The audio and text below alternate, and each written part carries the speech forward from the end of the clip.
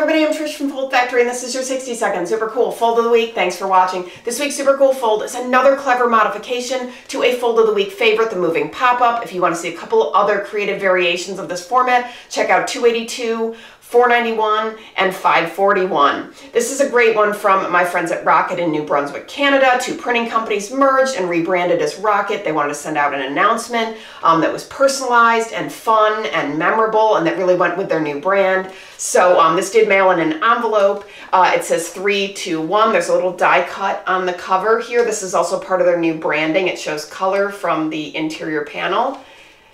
And then you open it and it says, Trish, we're going to great heights to let you know. Taylor Printing Group and Bounty Print are launching our new identity together. We are now Rocket. And they've got this rocket that launches above and below. I like how the art visually connects at an angle like this. So you've got the rocket and the exhaust down below. Um, I love that they, they made that visual connection like that. It's really fun. Um, the other thing they did that I really like is one, well, of course, personalization. So that was nice. And I also like that they put little diagonal slits on the back cover and each salesperson could then add in their new business card and send that out um, to all of their clients and prospects. So I thought that was really cool. Um, these were digitally printed with variable data on a Xerox 2100 on 14.C2S. But the other thing that they did that was neat from a production standpoint is they had a um, an issue with the length of the sheet. They needed a little more length, so they decided to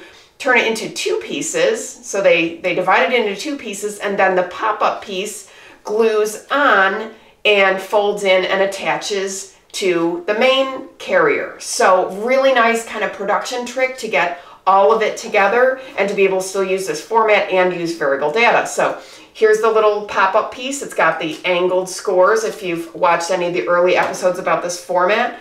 And then this 5 eighths of an inch tab glues right here. These fold in. And then this glues down like this and glues to the inside front of that cover panel.